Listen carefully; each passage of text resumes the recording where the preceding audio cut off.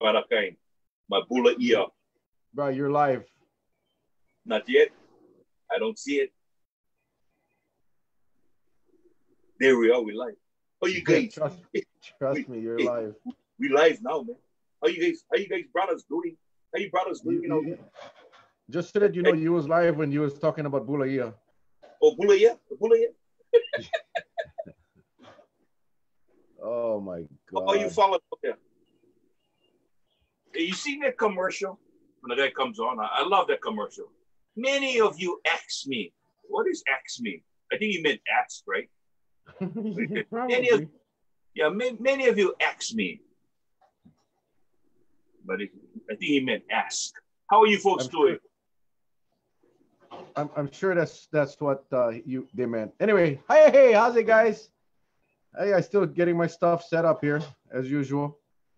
Welcome, welcome, welcome on this beautiful Wednesday night. You know how I know it's Wednesday? Because that's what my calendar get right there. My calendar said it's Wednesday. No, because it's trash day. Oh, Yeah, it is trash day. All right, here we go. Oh, oh, turn off the volume here. All right, okay. Awesome, awesome, awesome. So what's up, Charles? How was your day today, man? It was quite entertaining, I guess. Yep. You know, um, my you know, back in the day when we come home, we watch Checkers and Pogo. We look forward to Checkers and Pogo or Captain Honolulu. Well, as a grown adult, I now look forward for Governor Ige's uh, press conference. and you know, I, I I, I actually watched that thing today. I actually watched it today. It was quite painful. But we'll be talking about some of that today. Um, I, you know, I just went into our waiting room. We have actually Senator Dela Cruz uh, is not in the waiting room, but we we have Senator Donna Mercado Kim, which is a surprise, and we have Senator Kurt Fevella, which is another surprise. Right So. I'm assuming Donovan is going to be on shortly, so we'll have the three amigos one more time. Gosh, it's going to be a fun night. It's going to be a fun night. Hey, people, right now, hit the share button. Hit the share button because it's going to be a blast off tonight. Uh, we didn't expect the other two, but Senator uh, Dela Cruz did say that he was uh, he was going to ask them. I didn't think they were going to come on, so this is going to be cool. Senator Yep. Mercado Kim and Senator Fevella. We'll bring them in in a little bit. So right now, hit the share button. Hit the share button. Start a watch party because I have a feeling tonight is going to be exciting. Okay. And then, of course, the shirts, everybody, the shirts. Um, tonight, I think tonight is going to be the last night for this shirt. So go ahead and place your orders. 10 bucks. This shirt is going to go away. Um, and the new one is going to surface probably on Friday or so. But uh, today will be the last day for this one. So 10 bucks. The next shirt will be 15. So remember, all proceeds will go to Hawaii Community Foundation. And in fact, on Saturday night, we'll have Darcy Yukimura. Uh, she's Yep. the um, the Kauai The boss for uh, Hawaii Community Foundation.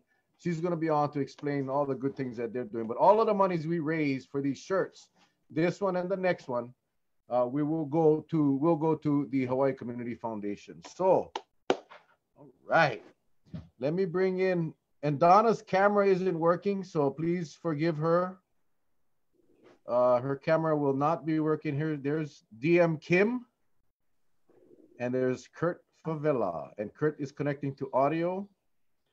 I hope Senator Kim connected to audio. Yes. Okay, all right. Did you hear me? Senator, I can Yeah. hear you loud and clear. Can you see us? Can you see us? I can see you folks. I just don't want you to see me. You don't want to be seen. I, I had to lie and I told him your camera was broken. Okay, it's broken. One look at one look at me and you're gonna know why the camera is broken. But you know, you know the No, good no. thing is like member 58 State Wrestling. Francis would be interviewing uh, Johnny Baran and only had a voice coming out of the box. Yeah, we, we, we just in that same mode right now. Okay. Senator Senator Fevella, you look pissed off. Huh? Hey, Oh, Oh. there we go. There we I go. You look. I know. Oh, now you. You I see was- me too. I was too busy listening to you guys' conversation, so I, I, didn't know you guys could see me or hear me, so I was just waiting. no, no, we, we could. I was getting was scared. You guys was talking about, you know, old Hawaii wrestling, so I was getting interested in there. yeah, well, and I was you getting know, some scared. Like, and all that. Huh? We have to cut this guy off. I know I scared put him on the air tonight, but now you look good. You're smiling. Oh, that's so nice. I like the shirt. I like the hat. I like it's beautiful, man. Beautiful. It's so, very colorful. Uh, yeah. yeah, yeah. You know, that's that's that's uh, Ewa Beach for you. We colorful yeah, people. right on, right on. Well, I don't know where Senator uh, Dela Cruz is, but I'm sure he'll be jumping on. Uh, you know, we've been we've been covering pretty much the uh, what the, the goings on, and I I have been speaking to Senator Dela Cruz and Senator Kouchi on the telephone um, you know, the big issue we had discussed the last time we were all on uh, was the airport screening process. I know you guys went down and took a look uh, for yourselves. So the couple of things we want to talk about tonight, if it's okay with you folks, again, none of this stuff is scripted. So, you know, for the, for the people watching, th this is totally impromptu. No, nobody knows what the other is going to say but wanted to, if possible, cover the airport screening process and, and how that is coming around. I understand you guys will have another meeting tomorrow, but up until this point, if you can give us an update, and then as well as the phase one opening of the state. Uh, a lot of confusion that that has been going on in the last 24 hours. So if we can just touch on that a little bit. So with that, um, I don't know who wants to start. It's kind of awkward looking at DM Kim on the screen. But uh, no, no, we can have our Senator uh, Donna if she wants to uh, start. Can we can we just start off with with uh, with your visit to the airport and what you guys saw and what you know what's going on? Where is this thing heading? Uh, are we comfortable or confident that we'll be in essence be able to screen visitors properly as as time goes on? Well, on the on one hand, uh, I think the committee was happy to see some of the things that they were in fact uh, screening and doing and how they had the visitors, you know, going from one station to the other station. And here I am using my hands thinking I'm on camera. Of course I'm not. Um, on the other hand, there were certain areas in which we thought they were lacking. And certainly one was on the addresses on whether or not it was a B, Airbnb a vacation rental, illegal or, or legal one, which according to the proclamations, uh, none of them are legal in, during this time for the 14 day quarantine. And so we had asked that they would check with the counties and get the list because the counties do have a list of the legal vacation rentals and HTA has a list of all the illegal ones. And so I believe they have in fact started doing that. Uh, the other thing that we found is that people were uh, making uh, one day reservations. One of the ways to get around this is that they make a one day reservation. And of course, after the one day, they meet the requirements, they're allowed to leave the airport, but then they leave the hotel and then you don't know where they went and you keep, keep track of them. And if they said they're heading back to the mainland, you know that's not true. They could be headed to the neighbor islands, they could be headed anywhere. The other area is they were signing the declaration about the 14 day quarantine, about the penalties, etc., etc. but they weren't reading it. I stood there and they, you know how you just click off the boxes or you just initial and you don't read. And so we asked them to verbally um, um, say it to them and make sure they will verbally repeat back that they understood um, before they would be allowed to leave. Uh, finally, the announcements over the PA, which I thought was a common sense kind of thing, was about social distancing, but nowhere while we were there did they talk about the 14 day quarantine. And so that's another thing that we requested them to do. And, of course, they said, yes, they can do it. They'll, they'll do it right away. But it makes you wonder why there to tell them that, why somebody within the whole airports or DOT uh, you know, they're not looking at how they can improve the processes to keep our state safe. Um, so, you know, while there were some good things going on, I think there are many areas in which we need to improve because based on what we saw, and I'm sure Senator Fevella will, will agree with this, is that they cannot duplicate this for when we get more visitors come in. I mean, they're doing it now for approximately 500 visitors a day. Imagine when we go to a thousand visitors. Um, we're not going to be able. It took too much manpower. Yeah. So the, the the, the problem that we have um, going forward with this um, screening, I mean, everything was good. I mean, in a sense that you know at least there, there had something up that we got to to see. But the frustrating part was, and and, and that we had was that, like Senator uh, Donna said, um, we we uh we're not going to be able to do the mask. Um, we was doing gates that had like 34 passengers, 40 passengers, um, and it was already a difficult task in getting them through the process. Going forward, I understand that the governor and all these kind of miscommunications that we're going to open up but I'll tell you right now, our airport is not ready. We're not ready, and I'll tell you right now, the state of Hawaii and the residents of Hawaii is not ready for a second wave of this virus coming to our island. So right now, um, you know, it's okay that we're going to, um, you know, open up certain other shops because they got to make business and whatnot. But to open them up full force for all the airlines to be coming in, I think that would be a big mistake. I think that would be a big mistake on our part if we do that because we're not ready right now at the airport in doing the masses. that we was told at least minimum, minimum, one person from whatever state they come in, a homeless person, houseless person, or whatever you want to call them, will try to make their way in here. And what Senator Donna was saying earlier, the process is they know they know the routine. They'll make a reservation, and how's this one? Not only just make the reservation, and um and, and come in. But the part we got upset about is that we asked them.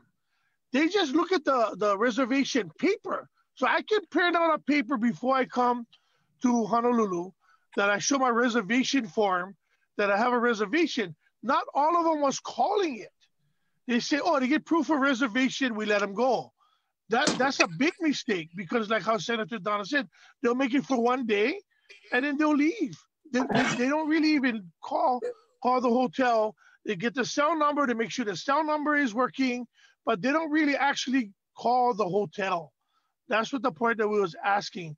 Had to have a reservation. They check the guy's reservation, so forth and so on. And they dig this one. The guys who come in that don't have a destination, they allow them to call a hotel, any hotel, to make a reservation. And if they cannot, then they get detained and voluntarily, whatever they want to say, go back to wherever they came from. But that one individual that was sitting there, he had no no return flight, he had no place to stay, and then we sent him back to where he came from. But then again, that's what I'm talking about resources and funding, because if I'm not mistaken, our taxpayers are paying for that trip to go back to the mainland. So we should be stopping it from wherever they're leaving from before they come here because it only costing our resources to uh, dwindle away. So that, that's just my take on that. Well, that's, can that's I, pretty can... frustrating because when we were listening to the Senate committee meeting a couple of weeks ago, that's one of the things that they had assured us, everybody, that they were going to be doing. And I want to welcome Senator Dela Cruz. Thank you, Senator, for joining us. Oh, sorry about that.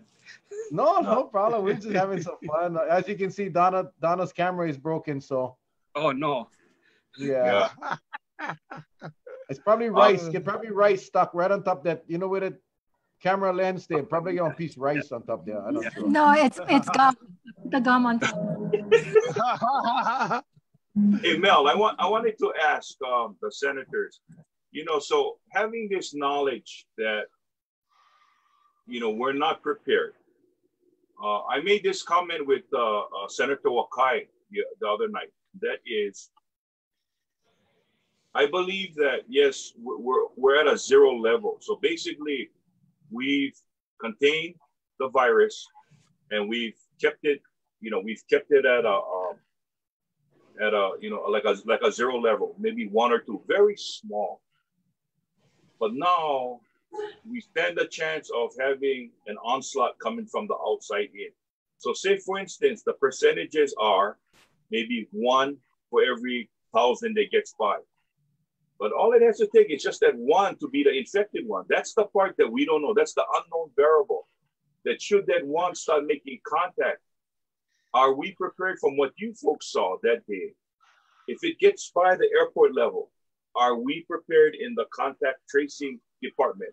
Because it seemed like when when Major General Hara came on came on the air, he wasn't getting cooperation, so he had to ask the governor to order the DOH to get more contact tracing in place. So those kind of messages that the, the, the regular folks like us get, it makes it, it makes me wonder, you know, how is our safety? Okay, so the committee is the committee is definitely concerned about that. I mean, Senator Kim and, and Senator Fevella have asked Department of Health several times, how many people do you need, and come up with a budget. They told us they need about three times as many staff to do the contact tracing. So they probably have enough people at the current levels, like you're talking about, one per day. But as you start to get more and more people infected, you're going to need a lot more people to do contact tracing. I think part of the problem is that Department of Health is saying that the people that they would have to hire would need special skills. And that's something that the committee said, well, it's really investigative and phone calls and tracking. You know, those are the kind of skills that that might, will be needed when they do contact tracing. We've asked them for that so that they can ramp up their their their divisions appropriately. Um, they can't wait any longer because even if we haven't officially reopened tourism, they're coming, you know, and it's increasing. And I'm not sure what the administration is actually waiting for for them to to physically say that they're that they've reopened it, despite the fact that it's already on the rise. But that's that's a that's a, a definite point of concern on making sure that we have enough staff for for contact tracing. Um, and the other thing is once we have, if we do have an increase, what are going to be the protocols? Are we all going back to stay at home? Is a 14 day quarantine going to go back in place? It's there's there's just a lot of things that we have to make sure are at least on the governor's radar. And if they could announce some timing of these things, because you know, I think Senator Kim said it once that it's almost like whiplash. You know, oh, we're gonna we're gonna open the florists, and then uh, oh, whiplash. No, we're not to open the florists. Okay, we're to open the florists. Now it's we're to open businesses. Oh no, no, we're not to open shop. So it's constant. It's very confusing and it can be very um, frustrating. Versus what the committee's been trying to do from the onslaught is to say what are the different levels of threat. Can we color code them? What are the protocols? What kind of staffing are needed? So if we say we're at level threat at the red threat level now, and if the governor says, okay, but in two weeks, we're hoping to go down to the next threat level, which is orange, this is what it means for businesses. This is what it means for gatherings. This is what it means for people. This is what it means for staffing. And we can get some idea, the community can plan. You at least have some confidence that government has a plan and that we can implement it. But that's unfortunately not happening. So the committee is going to continue to try to get that moving. Okay, thank you. I, I got real real quick. I want to just before I forget. Kevin asked about somebody stopping over on Oahu, coming in, um, asking if they got to spend 14 days on Oahu. No, they don't. They they'll they'll quarantine on Oahu, and and uh, if it's an overnighter, they're gonna go to their hotel, and then when they get onto their flight to Kauai, then they'll do the 14 day quarantine here on Kauai. So. Yeah.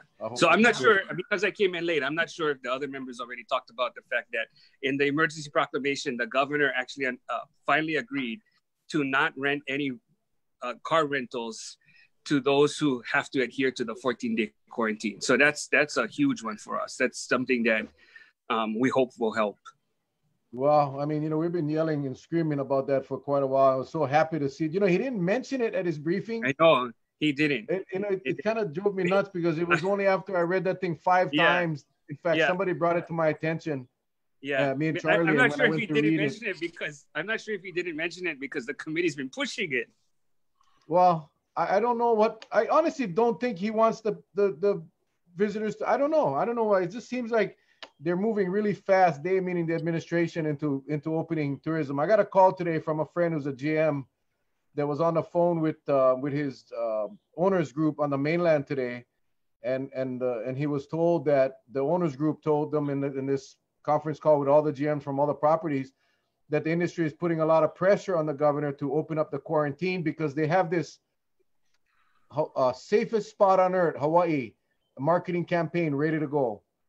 And that's what I'm afraid of. And I think the governor, he was asked today point blank, what's the time frame for lifting the quarantine? And he goes, well, it'll be in place at least till the 31st of May.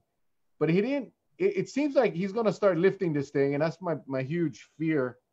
And, and I'm very excited about the rental car thing. That's going to be a little logistical issue to, to get going. But, you know, one of the GMs on Kauai, um, we found out about this yesterday, Donovan. You may know about this, but uh, is from the Marriott. They, he doesn't issue keys, room keys. So they get escorted to the room. And if they leave the room, they cannot get back in. They got to come to front desk. They get, and then they turn them into the cops. So that's another idea that, you, you know, the governor could prohibit any hotel at check-in to issue any keys.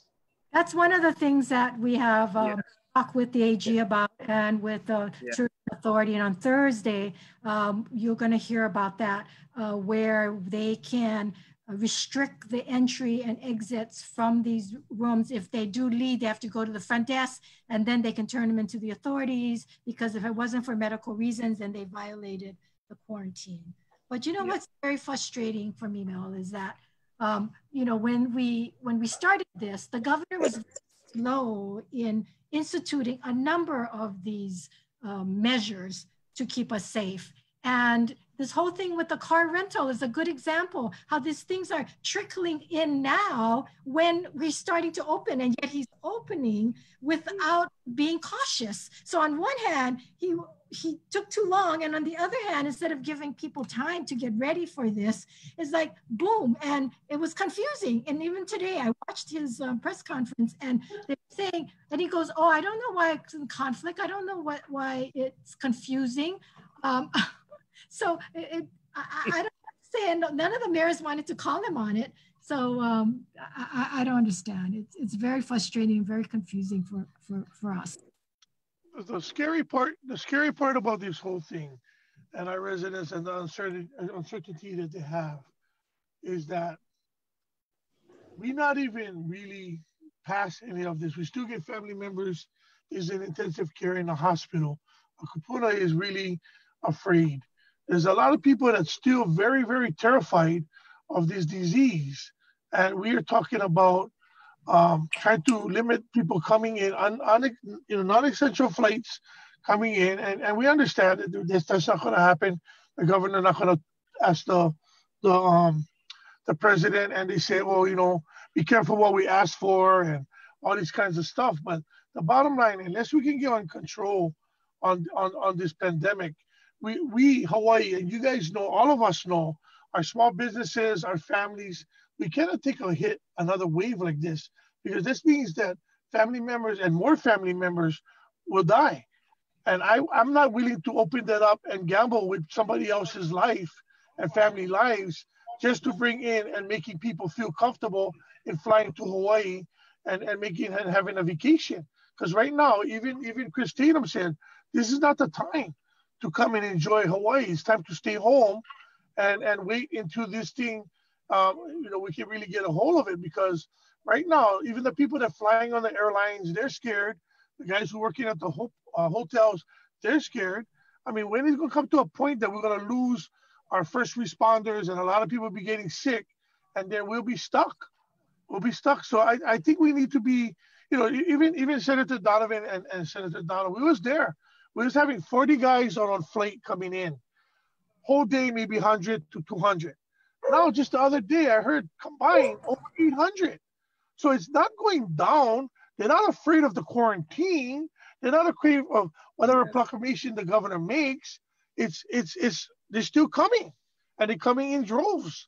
So I, I really pray that we can come to a conclusion that we can really protect our people of Hawaii because they're really afraid. I mean, it's hard to even go to the store and shop for the essentials that you need for the house, and you see the kupunas there desperate um, and, and when they see you, of course, they know that if you work at the Capitol, they ask you questions. And, you know, when you look into their eyes and you see the uncertainty, what can I tell them? You know, because the governor's not listening to us, even as a committee. And then when we tell Linda, Linda blocks it. So we we frustrated enough that we tried to get these messages out and there's mixed feelings when he goes on the on the TV and Senator Donovan said, "Oh, the florist is open. The florist is not open. The malls is open. The mall's not open." I mean, we need somebody that's going to stay there. And like I said before, we cannot be seaweed in the water. We got to be stern. Got to be stern. He got to make the message clear if that's what he's going to do. But then he make the message, and then the mayors come out and they not really feel comfortable with it. Why didn't he, con- you know, consult the mayors before he made this announcement? I would have done that. There's protocol. Ask them if they feel comfortable about it. Don't make it. He said he meets with them three times a week. He said he meets. Oh my gosh. Well, he, he, yesterday, yesterday at his press conference, he he specific. One of the questions was, "Are all the mayors in agreement?" And he said that they have been in communication and they have reached a consensus between all the mayors. That's what he said yesterday. I I listened to it, and that simply was not true. Um, and we obviously found that out last night when when the mayors all of a sudden wait. That's the, but the same thing when ask. That's the same thing when ask Linda. Does the governor know that you've been blocking this committee for over four or five times? Oh yeah, he's aware. I mean, there's not an hmm. answer. We asked her, do the governor give you the authority to undermine the Senate? Like we told her, she is not an elected official. So we wanted to know if the governor knows. And he said, yeah. She said he knows. I mean, let, let me ask the, let, let, let me ask the uh, committee, um, and any one of you senators can answer this. Has the heads of the hospitals been called in before the committee and given an opportunity to, to weigh in should something starts taking off? Because, you know, I, I know what they said, but yet on Kauai, I know what the numbers are, how many beds we have, because uh, maybe two blocks from where I live is KVMH, and I know that's a small facility, but it handles the entire west side of Kauai. So if anything happens, if they get overrun, everything needs to be shifted over to uh, Wilcox. But like on the other islands, Big Island, Maui, Maui, they already have a problem in and of itself with Maui Memorial.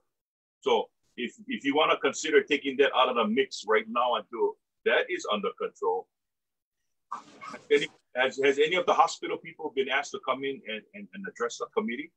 Or um, you folks want to stay away from that? I mean, I don't know, just as a suggestion, because I think, you know, they're ultimately going to be the, the frontline warriors, right?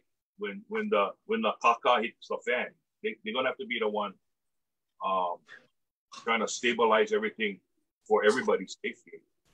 Yeah, so tomorrow is probably going to be our last meeting until we recess again from session. So when we come back, that's something that we can look at. It's just that the committee's focus has been a lot on unemployment and a lot on uh, the, the, the quarantine with the airports and a lot on redeployment of staff. You know, in addition to that, in general, what's the plan? You know, we're working with HI-EMA and trying to talk to, to Linda. And those seem, we were, we've been trying to respond to the real immediate things just because we know people are hurting. Um, yeah. But when it comes to future planning, those are probably things that we probably are going to have to take up because we we don't know what information is being filtered from the hospitals, right? I mean, like you said, that's it's not clear if we have the what's our capacity when we have a when we do have an increase again. Are we have are we able to to withstand that and if not what is it going to take so that we can stabilize that and that's something that sarah park talked about you don't want to open up the economy until you make sure your healthcare system is is more than adequate to be able to to handle a kind of surge. So that's mm-hmm. something that we probably should look at when we come back, or when we come back into recess. Do you have how long is the recess? So the, we're going to go into session. We're going to take up five or six bills, mainly the budget bill, the oh. CARES Act, um, allowing the governor to loan to to borrow from the federal government, uh, shoring up the rainy day fund. Uh, there's also going to be a bill for for the for the legislature, the governor and his cabinet, and the judiciary to defer all raises for at least a year. Um, so that may take a week and a half to two weeks, and then we'll we're going to go into recess again. Then in June, when it's hopefully safer, uh, that then that we can reconvene and take on other bills and other measures. At that time, though, we really believe that we have to codify some of these things that we're talking about. You know, one of the things that came up in one of the hearings was what's going to be the guideline for restaurants, right? I mean, how many people in there? What what do people have to wear? uh, how many people can wait outside. We're not quite sure. We asked the Department of Health, what is what are going to be those rules? And we don't want to say guidelines because guidelines may mean that it's optional. We want to make sure that it's going to be something that's going to be consistent and that can be enforceable. Uh, if they don't come up with these things in a timely manner, then we're probably going to have to take those things up in June. Um, Donovan, what time is your your hearing tomorrow? Uh, people are asking that they want to watch it tomorrow. What time is that? Twelve thirty. Twelve thirty. Yeah. Okay, I will be sharing that on my page as well. Uh, we meet with the airport and the tourism people at um, 1.30. Okay. Uh. You know, uh, someone had asked. Got, uh, go, go ahead, no. No, I had a follow up on the when we're talking about the, the health side. Do any of you know why the governor and the Department of Health has been so um, they're not comfortable with widespread testing? Why are they not so um, aggressive with the widespread testing? as everyone else in this country is. Uh, it, it just doesn't seem like Dr. Anderson is is using or, or thinks that the widespread testing is of use. Any of you have any idea why?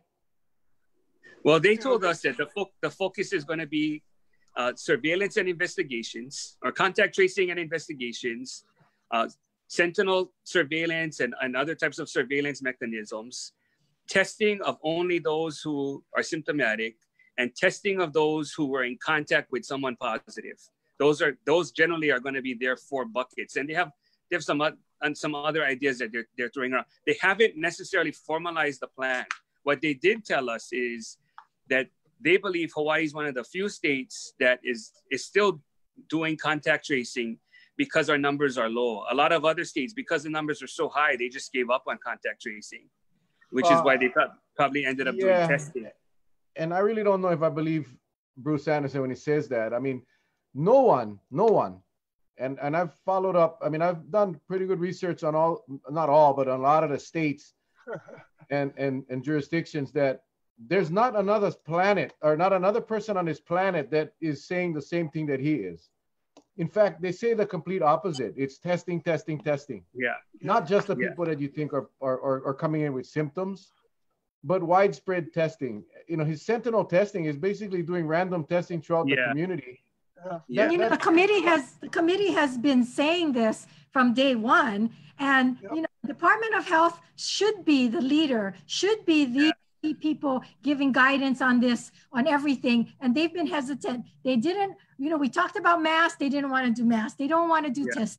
They didn't want to do the 14 day quarantine. You know, they didn't want to take temperatures at the airport. They didn't want to do anything. It's uh, it's absurd. I, I don't know yeah, where and, the leadership is. That, but now, but now they want us to hire all these people so they can do contract testing because they just want to build up their their department, I guess. I don't know what it is. I'm sorry. no, no, I understand. I, no, because listen, that has he has been consistent with that from day one. In fact, yeah. the lieutenant governor was in conflict with them.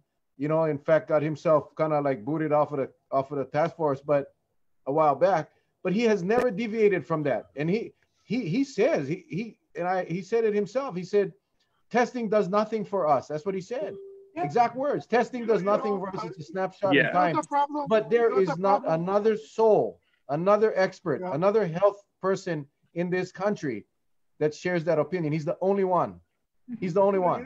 and, and they, want us to increase, oh they want us to increase their department so they can do contract testing. That's what they want. You, you know the sad part about this whole thing?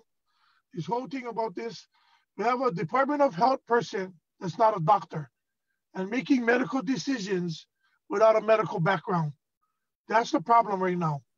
Uh, we, we have somebody um, that was giving advice, doctors that are giving advice, different doctors around the state.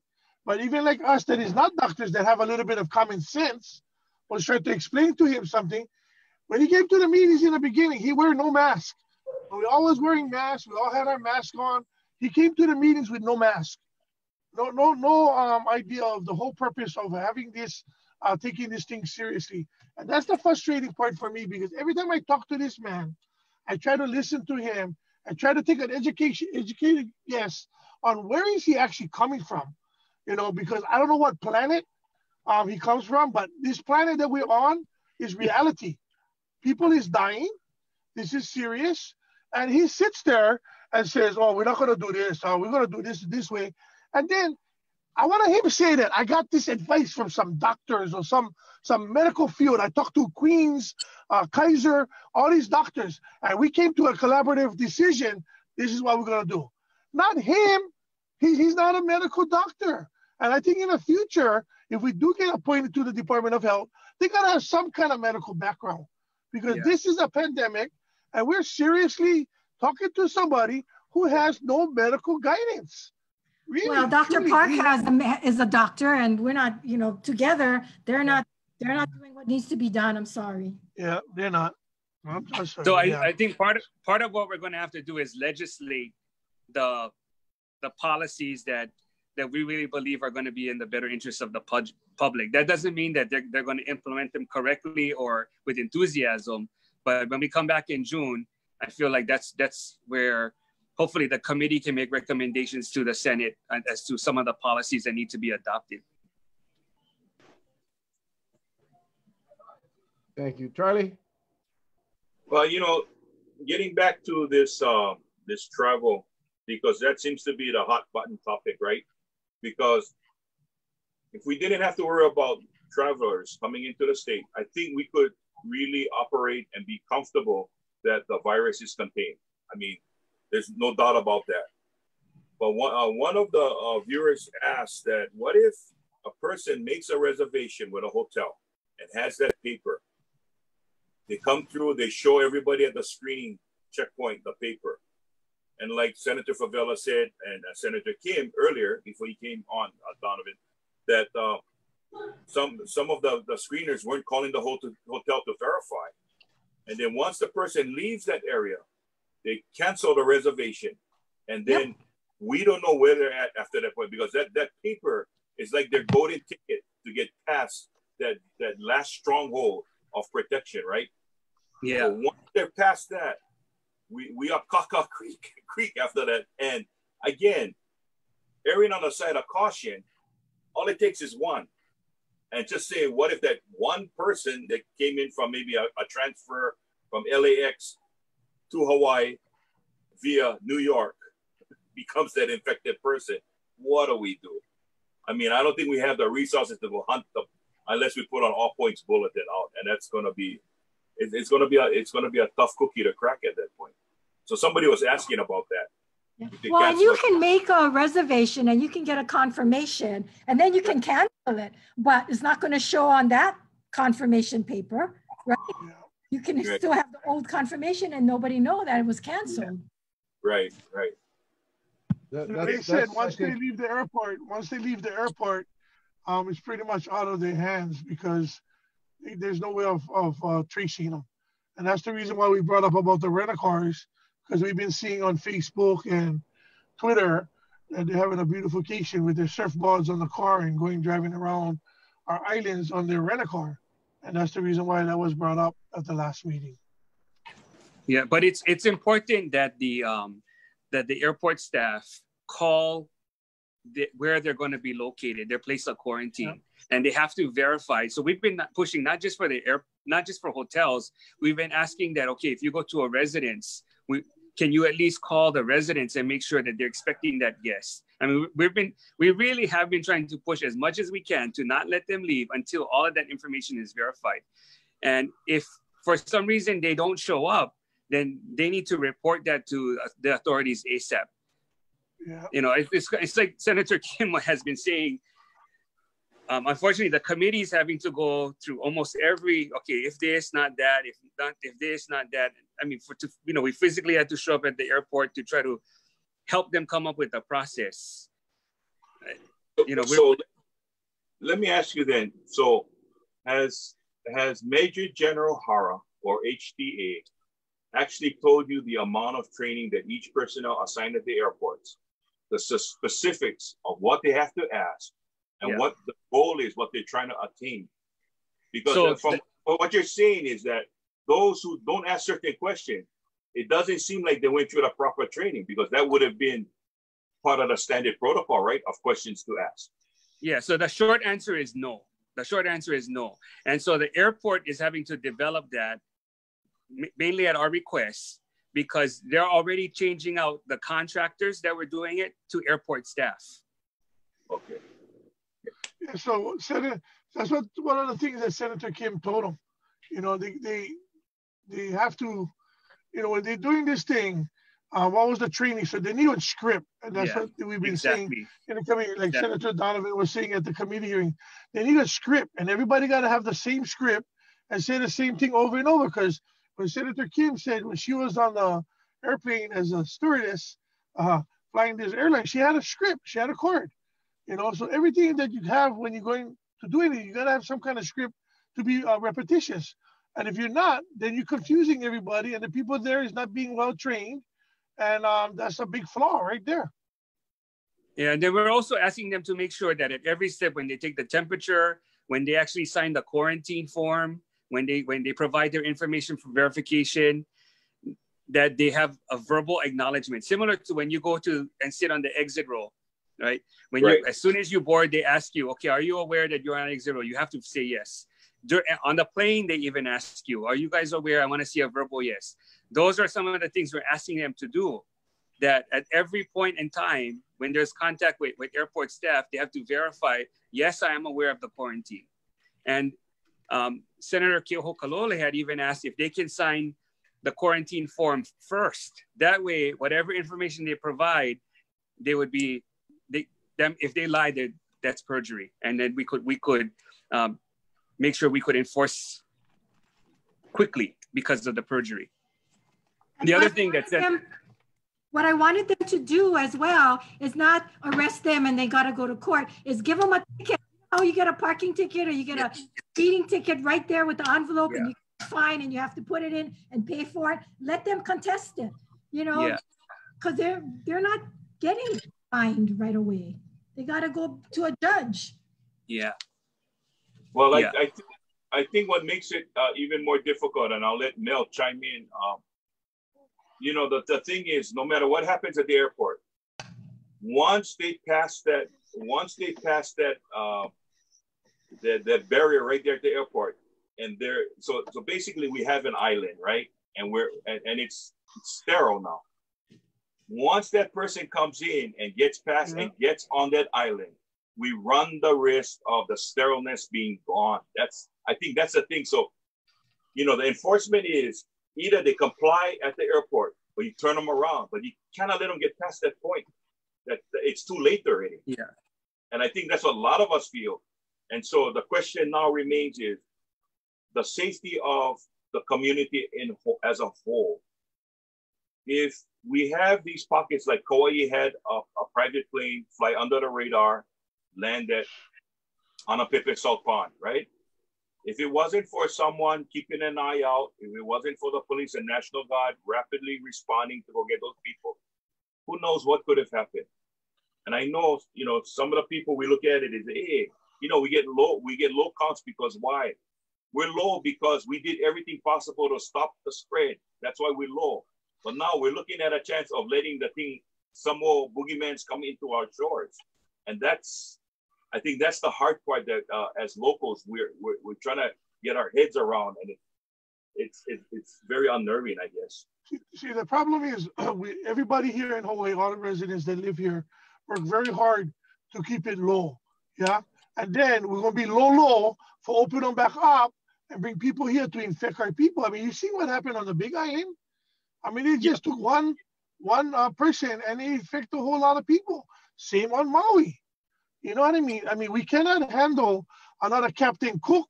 You know, we cannot infect the whole whole uh, nation of Hawaii uh, and, and get sick. I mean, it's not going to happen. If our first responders go down, we're, we're vulnerable. We're done.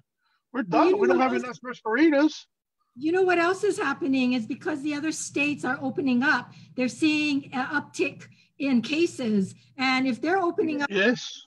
people to travel, they're going to come here with the uptick and they're going to bring it to us. So that's even greater um, risk that we're putting the people.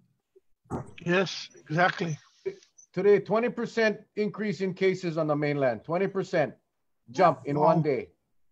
And, that, and that's that's that's fact. You know, I was joking with Charlie. I wasn't joking. I, I mean, I said it in jazz. I'm not kidding. I mean, I wish the state would would I'd do it for free. Charlie and I could get that checklist done in three to four hours. I'm serious. You know, you walk through TSA with a bottle of water to kick your ass back. Yeah. Yeah. You, you put your laptop in your backpack, you go through and you're not on that special line, you get your ass kicked back. Yeah. They cannot tell me they don't know how to do this stuff. It's not difficult. It's a one-page checklist. You take the guy's airplane ticket, where his return ticket, his itinerary, you check his hotel reservation, they don't match. You go to the law enforcement line now. You got to prove accommodations for the length of your stay. How, how hard is it? If not, you get your butt back on that plane and go home. Th- That is what I think. And I, this is not my anger is not to you folks. I, I tell you, I watch you guys. I for the people watching, you guys got to appreciate this tree right here because they work their asses off and they're But you know what? their That's best. what's so frustrating, Mel, because it's common sense. You know, Yeah. it's, It's- they I mean, have to be an how hard, how hard is it? How hard? There's airport, They don't, they're not thinking. I don't know what it is. plane ticket, uh, hotel reservation. That's the only two documents.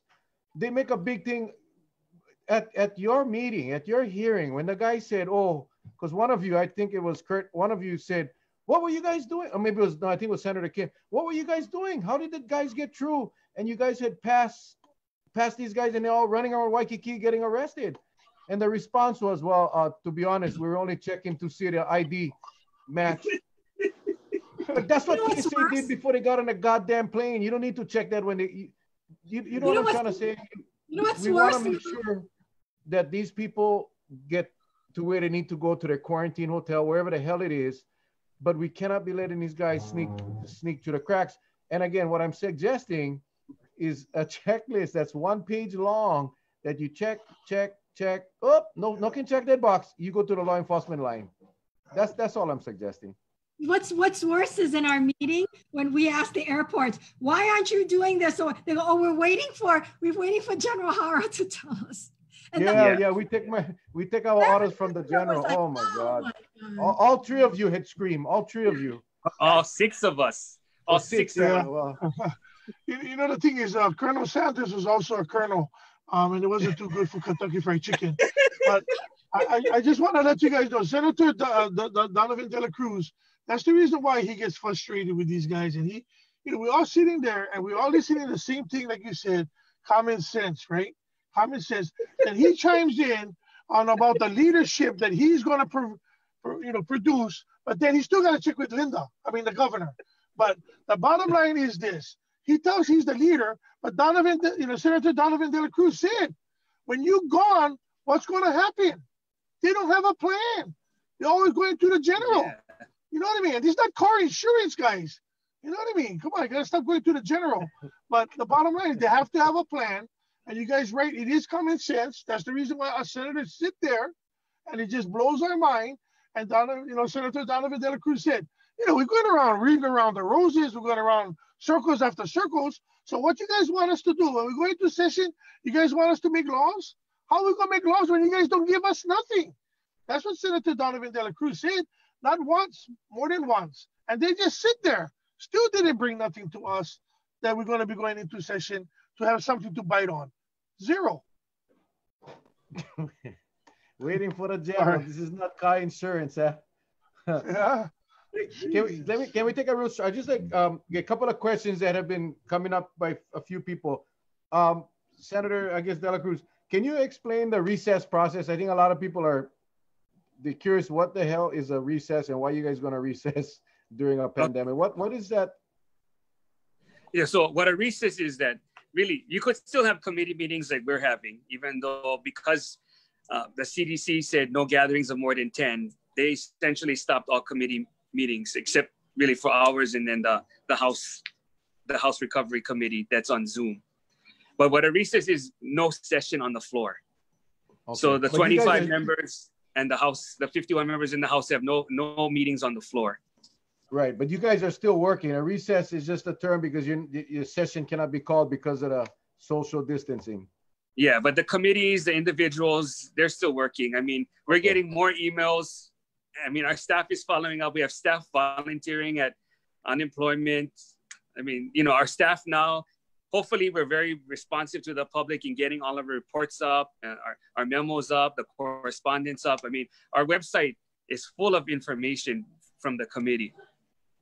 Yeah, normally under recess, we would still be at the Capitol working and just not having a, um, a meeting on the floor. However, because the Capitol is shut down and we cannot meet and social, then we don't have any committee meetings going on. But we're in recess because we don't want to adjourn. Because once you adjourn, you cannot come back until Yeah. a whole lot of stuff go on. So we put ourselves in recess so we can come back in a short period of time. We can call ourselves back, which is Well, Thank you. Thank you for that clarification. I think a lot of people were taking like you guys are taking a, a vacation and hitting out. Yeah, and no, no, it's not like it's Yes, not like cool. yeah. Well, you know what? You know what makes what makes it kind of tough, I think, too, is when rules are placed upon the, the community and we follow those rules to flatten the curve. So we got this ruling by the CDC that says no more 10 people at a gathering. But if you practice social distancing, as big as the rotunda is at the Capitol, you can actually have a session and everybody be six feet apart. See, so that that's the kind of stuff that people like me we, we cannot understand because if you're telling me I can be out in the open as long as I six feet apart, I can get 200 guys that go down for two miles. We're not violating the social distancing rule. But the CDC makes a makes a rule that no more than 10 people. But yet, if you have enough space that everybody has maybe 100 square feet per person, which is a 10 by 10, that theoretically you can stay there without coming in contact with each other. Is that something Yeah, so- that's Well, the Senate is a lot easier to do that than the House, just because we have half as many people. But a lot of it is also when you have testimony. So if you have like 50 people who wanting to testify on a bill, then that's when it makes it difficult. okay? Plus, you have to think about staff and all the people that have to come in to make all these things happen. So it's also our staffs, yeah. And Yeah. No, Yeah, no, because we good, good, good, What good a to lot have a of people don't, because that's that's how basically um, I would look at it. But yet, you know, I, I forgot Mm. about your staffing and all that. So it, it's a good it's a good way to get the message out to the people so they can understand. Because some people have been asking the question about the distancing rule. Yeah.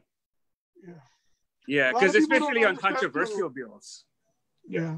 So the, the, even for our committee, a committee hearing, our Yeah. WAM staff, uh, Senator Donovan De La Cruz staff, and all those guys that is working, they're coming in. They put they put in thousands of hours of work to make us be prepared for each meeting and every memo and everything that we do. Without this staffing, this this committee hearing and this uh, special committee hearing would not be possible. So yeah, we out there and we, we're in front of the cameras and we're talking, but without the preparation and the in-depth preparation that they do, we cannot do our job neither. They they make it easier for us to come out there and be prepared to to come to these meetings. All of our staff do the same for preparing our folders for each meeting.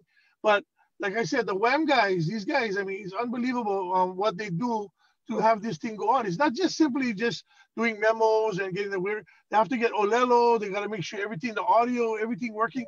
So there's a lot of uh, mechanics in there. Even when we go down on a floor session, um, the preparation that it takes for each senator in each uh, session that goes through the, the, the preparation of having these meetings um, uh, at the Capitol. And that's what I learned. It's not as simple just show up to a meeting. This is not like a neighborhood board meeting. You know, this is different. But I, I, my hats off to all of those guys that making us uh, and our, our situation easier, um, not easier, but um, more comfortable when we have these community hearings. But I, you know, I thank them. It wasn't for them, we, we wouldn't be able to do what we do. But they're also trying to, to uh, enforce protocol. So when a testifier or someone, one of the different departments come and testifies, when they leave, we take a recess and the staff sterilizes the whole area. They got they Clorox the tables, the chairs, the mics, so that they can allow the next person to come in. I mean, now there's extra things that we have to do to make sure that we can comply with the CDC rules. Good, good. Yeah, I, I, think a lot of people. I mean, obviously, when I look at the the uh, press conferences, both the county, the Caldwell, and and the governor, they use the same mic. They touch the same podium. None of them wearing gloves. They have a mic. They have a mask when they go talk, so the germs can go on the microphone for the next guy or the next girl. Uh, you know, it's kind of shocking that it's we're six weeks into this thing already. We've been preaching the these these uh, safety measures. Uh, it's kind of frustrating to to see. Like, you know, do they really? Maybe they just don't think it's that serious. Um, I don't know. And I know some people don't. I know there's a there's a few people that that I know personally that don't think it's that bad, and that hey, you know, we all we all should be going out and getting this thing so we can build the immunity. I know some people actually believe that. But you know, I always go back to Charlie. You know, he lost a brother. And we lose people every day. Uh, well, I don't know what the number was. I didn't check the the the country stats today, but thousands and thousands and thousands of people dying every day. Yeah. So and it, and it's so so contagious that. that hey Mel, um, Mel, let, let me ask let's let me ask them this. What about one alert system? Should uh, should the people should should this thing run from us? I mean, it, it, almost appears that because we're not getting cooperation on the widespread testing, it's almost like suppression of data can be dangerous for all of us, correct? Yes. So exactly. should, just should something happen, is there a guaranteed alert mechanism that the DOH has informed your committee that should we start ramping up with numbers, we're gonna put the word out already, or they don't want they're going to try to handle it first before saying anything. What what are, what, what are they planning to do? Well the committee tried oh go ahead. Go ahead donna. what's that? We've been asking for that. Donovan's been asking yes. about an alert system from day one. Yeah so if, if they go on if they go to our website they'll see like we asked that maybe about six weeks ago for them to, to incorporate, similar to when you have a flood or when you have a hurricane, you get your text, you know, everyone's alerted. Other states and other countries are actually doing that. So if we say X amount of people got were tested today and X amount of people were positive yeah. and the amount of deaths, every day they at least have a text, it just creates awareness and and hopefully it changes people's behavior. And it's, it's more of a seriousness, right? I mean, you guys all yeah. know we don't we don't want a false alert like the missile thing, but you see how serious everybody took that that missile alert um, um, when it came in, even though it was false. Everybody took it took it deadly serious. Well, this is the same thing with the virus, and that's why I get frustrated when I hear Senator Dela Cruz and Senator Kim asking these things over and over like a broken record, CD or D- DJ music or whatever you like call them, over and over, and it's not received. It's just like they mute, they mute us when it comes to those kinds of things. But yeah, Senator uh, Donovan Dela Cruz has been asking this from from a while back already because that would be the best thing to let our people know on a daily basis or maybe a weekly basis or something. Have something in play that we can let people know on the island or islands, all on the neighbor islands, what's happening in our state. And I, I don't know the difficulties in that because I don't run a missile alert system, but we just want something that the community can see. Oh, okay, you know, we're doing a little bit better. Oh, the team went up. Or you know, be more, be more, be more uh, um, aware, awareness. Yeah, because always, always, knowledge is power. Yeah, knowledge is power. And if we're going to empower our people to stay safe and not and not get sick and die, um, then we need that. The problem with with, with our with our, uh, our leadership I, I don't know because I, I don't know their family, but I have family members that I went to school with that have their families is in intensive care. I mean, now now he's doing a little bit better, but that's not the point. The point he was six weeks, six weeks plus in the hospital. The family not knowing if he was gonna leave this earth or, or what. But that's the seriousness that, that, that we have to take it. I mean, you know, these are people in, in, in my community, in your community, but I don't know if somebody in Washington Place, I mean, I mean, I don't, I don't know if they're getting the same dilemma. But it's a daily, daily task, daily stuff that we see on Facebook. Pray for my brother, pray for my uncle, pray for my dad. I mean, I don't know. I mean, I don't know if maybe he's not on Facebook, but I think he should get on Facebook so that he can see the reality of the state of Hawaii. They're in a pandemic. People are dying. They're scared. You know, and that's the seriousness that Senator Dela Cruz said. We got to take this as an attack on Hawaii. We got to take it as an attack on Hawaii, just like any other defense mechanism. And and he been repeatedly over and over asking for that mechanism, and it falls upon deaf ears. We was going to ask the general, but I mean, I don't know. He might he got to have to check with Linda on that. But the bottom line is, we got to get things done. We have to. I mean, we could um, even see like if more people are on beaches, if they're not complying, if we see a trend, then you could send out a, a quick text saying, hey, this is going up. Don't forget the law is this. This is the executive order. Please stay stay at home. You know, just a constant uh, messaging of, of making sure that people are, are following and aware of what the rules are. That would be so helpful. So helpful. Hey, Costco, get one shipment of toilet paper right now. You know, something like that that we all can use. Yeah. Yeah, I, I get on. Uh, I get on question today. The lieutenant governor. I know we've talked about this quite a bit. I know. I know you guys been on this for a while, but they asked the lieutenant governor about the the possibility of uh, uh, isolation hotel, quarantine hotel uh, uh, uh facility. He said they are uh, discussing that. Any? Did you guys get any any information yes. from the attorney general?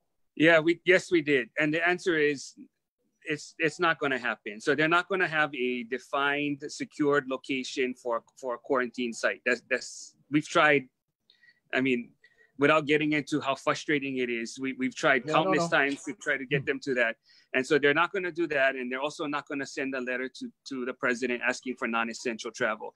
So what what the committees decided to do instead of constantly trying to get those things to occur is what are what are things that we can do in the meantime that might supplant those efforts and so that's where going back to even working with the hotels and giving what like donna said that the one key for the for the day. Once they get in they don't have it. We're gonna the rental car we're gonna have to come up with other ways to do it if they if they're just not gonna move forward on those two initiatives. Well let me kind of share an incident that happened. Someone said just repeat the incident. And this happened at our Safeway. And all it was is the local guy asking this, this tourist couple that came, or the, the wife, and apparently the, they must have been here maybe a couple days because her response initially was just firing away at the at the person. Okay, it was it got really ugly. And so finally I just stepped in. I just said, you know what, best you go because they even told her, hey, you gotta wear one mask for going to Safeway. She goes, I ain't wearing no effing mask. You know, I paid to come here, so you know what? You don't tell me F this and F that. And the husband was trying to calm the wife down. So this other local lady came by. So I guess my point is it's gonna get to a point that innocent people won't get hurt. Because if we cannot stop this problem, I have a strange, funny feeling, and I, I hope I'm wrong, but people are gonna start taking matters into their own hands. That's the that's the biggest thing I worry about right now. That it's gonna happen and uh, I don't know. I, I don't know what to do. I mean, I love our community, but you know, people are just frustrated. They're very, very frustrated. One of the issues we got to keep in mind, which is what we've been told by the Attorney General, is that we do have a constitution, there is due process, there is the, the right to travel, and there are certain things that we cannot do unless they they are tested and they are positive for COVID, if they didn't commit a crime or they're not positive, then we cannot just put them in a facility. We cannot do certain things because you know they haven't done anything. So that's that's the legal challenge that we have, and um, so that's why the governor and the AG is not is saying we can't do some of these things. So if, well, if, if uh, uh, apparently the attorney general never talked to uh, uh, Josh Green because he said today that they were still discussing that possibility of testing. If they test positive, if they have COVID or whatever, then they can. They, she said they can do they can do it. But other than that, she said, you know, we're going to have all these lawsuits and so forth. I mean, she's going to have to defend us in court. But if you cannot prove that they were that they were actually a threat to the to society, then you have all these constitutional issues. I'm just telling but, you, don't shoot the messenger. Yeah, yeah. But I've, I've, yeah. I've, dealt with I've dealt with county attorneys so many for so many years, and it's frustrating because when you look at preventing one local resident from laying on a beach, when you look at preventing one local resident from leaving their house between nine and five at night, when you look at the, all the freaking prohibitions the local people get, and I'm not, again, this is not directed at the three of you. How can you say, or how can she say that that's unconstitutional when you've stripped the constitutional rights from every single freaking human on Kauai and Honolulu and Maui and the Big Island because it's a pandemic? That, that is where I think the people get frustrated now. We're not putting them in jail. Well, I, I think what saying, what they're saying is that our stay at home versus the fact that these people come for a certain period of time and that we cannot force them for that period of time to stay in a place of our choosing to stay in unless we can show that they were, you know, because there's right of travel. I mean, there's those issues. And I'm not an attorney, so. Okay, um, so neither. Yes, I guess my flip side to the question would be um, yeah. if the trigger to get them quarantined is testing, how do we get to that point of testing them to, to, to, to start that to start that domino effect to take place? But because even if we test them, Charlie, even if we test them today and yeah. days later they can contract it, or it might not show up. You know, they may have it, but it might not show up the day you test them. It'll show up two days later. So that's the problem. Yeah. So we're more. no, go ahead. Go ahead. No, you know, unless we do the rapid testing, even if they are symptomatic, we're not going to know for two weeks. They're going to be going home. You know what I mean? Even if they came coughing, fever, and everything, unless we give them the rapid testing that would happen in like a couple of hours or less, we're not going to know. As soon as they leave the airport, they're symptomatic. They're not going to take them anywhere. So that's the reason why, again, we spent money on this, and I keep bringing this up. And Senator Donovan Dela Cruz said, we cannot keep going ring around the roses on this one. But the simple fact is, why did we spend money back in December preparing Pearl Harbor, yeah, to have these people that is symptomatic or possible symptomatic to go to this place in Pearl Harbor where they was going to have provided food and everything like that so that they don't spread it to the other people on the island. But again, like like I said, it changed. Everything changes, and now they don't even want to talk about the place that our taxpayers paid to renovate and get it ready for this uh, pandemic. You know, that's the sad part. It, it was it was paid for by taxpayers' money. Yeah. So the the fastest way we're going to be able to to, to ensure some kind of enforcement is the process at the airport, making sure that they fill out those forms, making sure that they, they give us the information that's required. And if they don't, if they don't give us that information that, that's required, that's when you can actually seek legal options. That's where we can make sure that there are some arrests, that there's some fines.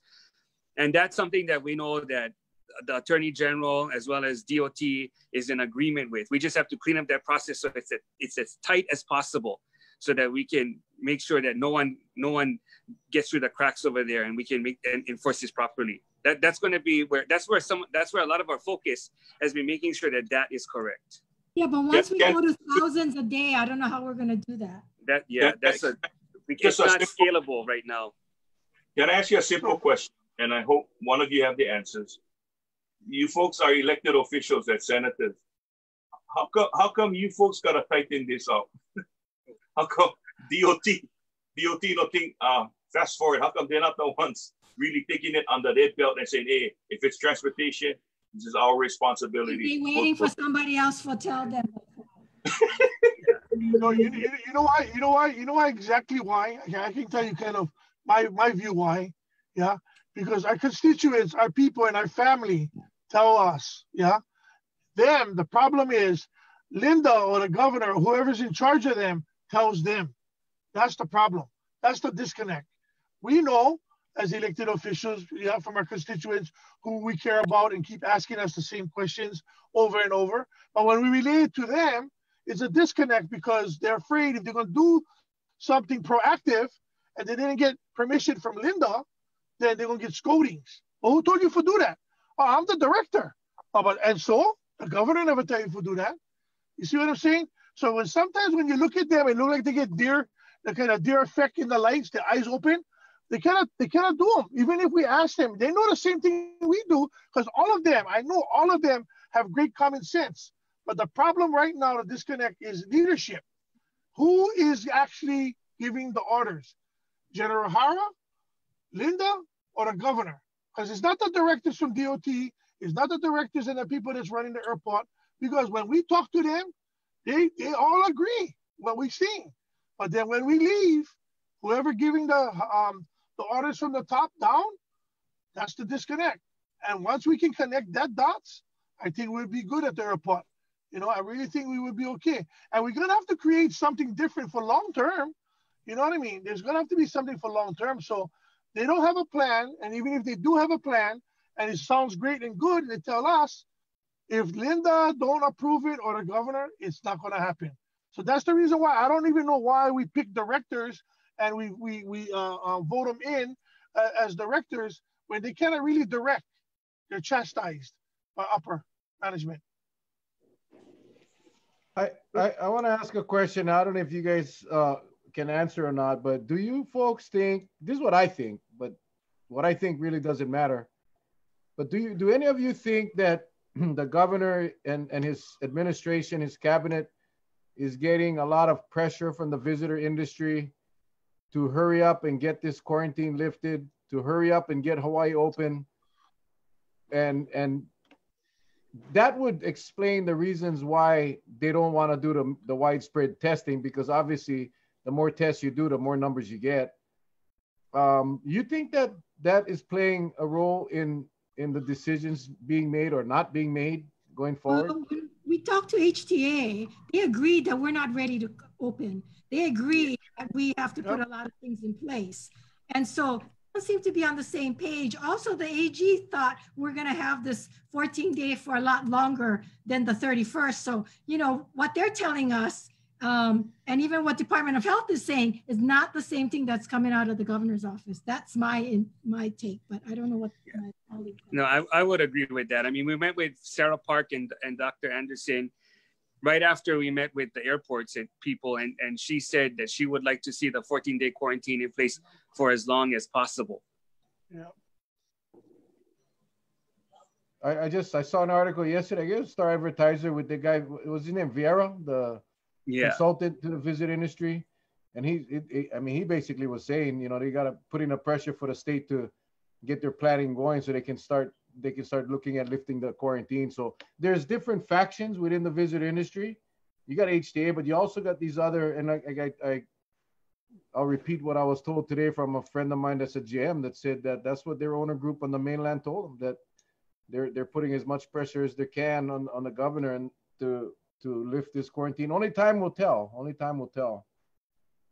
Um, you know, the, okay, the, the, the sad part about it, we have the we have the guys that is in the hotel industry who's our family yeah this is our family working there yeah so yeah. when the head of the you know uh, chris tatum said and same thing with the senator kim said when they're telling us this is not the time yeah they're not ready you know their people not ready they're the people that work for the hotel industry they're afraid housekeeping is afraid that they're gonna get sick and they're gonna take them to their families and you guys gotta understand you know and i know a lot of housekeeping is not the young young generation in their 20s and 19. They're in their late 40s or early 50s and they're still doing housekeeping. You think how vulnerable they, they're going to be. You know what I mean? They're not young uh, uh, teenagers that doing that kind of work because the teenagers not going to do that kind of housekeeping work and what the, what the hotel industry provides for us. So these guys are really are worried about them and they are not healthy. They get diabetes, they get heart problems, they get high blood pressure. I mean, these are all the things that is in play but I understand that the, the you know the industry wants to open up and they're putting pressure on our governor. But to what extent? To what it's worth that we're going to lose people in the hotel industry, getting them to pass away and die, and then we're going to say, "Oh, we should have, could have, would have." I, we had Mufi, we had Mufi on our show. Uh, he was very adamant, you know, with the whole Aloha Later campaign, which is a fabulous campaign, telling the people do not come. So I, I was just curious if if any of you had well, let me let me just throw this out to you guys. So one of the things I asked, because they said, "Oh yeah, we called the airlines, we told the airlines," and I said, "You know, I went online and there's no there's nothing on that that says if you're going to Hawaii, there's a 14 day quarantine." I said, "None of the travel porters portals have it on," and they go, "Oh, they didn't think of that." Why didn't they think of that? They only talked to the airlines. I mean, that's the kind of stuff, common yeah. sense stuff that I would think that's their industry that they would do. No, they didn't. They had to wait till we told them. Hey, uh, Mel. Hey. Let me ask the uh, senators uh, this uh, question. This is not a trick question because, uh, but you know, based on what the, the AG has said, has anybody thought of maybe calling in the last two AGs and get their opinions if they would read the same way this AG is reading this whole issue, or would they have a different opinion? Just so you get one gauge, because they're it not seems. Gonna say, they're not going to say they don't want to undermine because we've asked in the past. They don't want to undermine the current AG. They're not going to say. Okay. Even if they did, not going to matter. You know what the sad part about is I brought this up before, right? When when President Trump uh, had, had had made the ban from stopping uh, foreign travel, um, our state was one of the first ones to take him court and sue him for uh, overturning it, right? So I brought this up to the AG. It was so fast to jump into that and sue and saying that we're going to overturn them, then why can't we stop all essential travel? Why can't we? You know, so that's the reason why to me, I sometimes I, I feel the word, the, the bottom word, the simplest word you can use. There's a lot of excuses. You know what I mean? Like I always tell everybody, we try something, and if it don't work, and they get mad at us, then we apologize. But how are we going to apologize when we never even try to do it? That's the part. We get stopped before we can get out of the gate. Yeah, we're to get sued. They're to threaten us, blah, blah, blah. But our people going to be safe. That's the thing.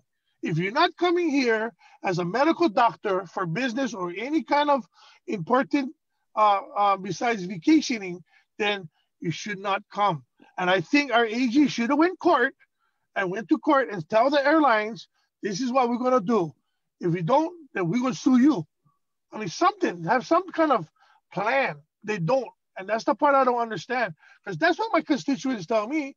I remember when Trump was trying to close the airports from having foreign travel, we, the state of Hawaii, sued Trump. And we, we, we overthrown that and we went go uh, against what he had uh, recommended. Now he's telling the governor, you have a choice. You have a choice in what to do with your state and then we sit on our hands, do nothing. That's the part it frustrates a lot of people in the community. And we want to know why. Really do want to know why. So tomorrow we're gonna have we're, we're gonna have all, all the different agencies on. So you know you get to you get to watch it all again and and probably hear some of the same questions being asked. So I think I think we're kind of ready for you guys. Uh, what ukulele and guitar? Oh man, you know, damn! I was I was thinking, you know, these guys already saw it, you know, so they're not gonna want to see it again. I was gonna ask Charlie for play one regular song again, like he did last night. Yeah. guitar. Any any yeah. closing comments from any of you? Um, I was just gonna say too, you know, any anything you guys like wrap up with? We went 15 minutes over time. Any you guys, the floor is yours. Take your take your chance well, I just want to thank the committee. They work really, really hard. I mean, and it's personal. You know, it's really personal for so many of them because of like what Senator Fevella said. It's family, it's friends, it's constituents.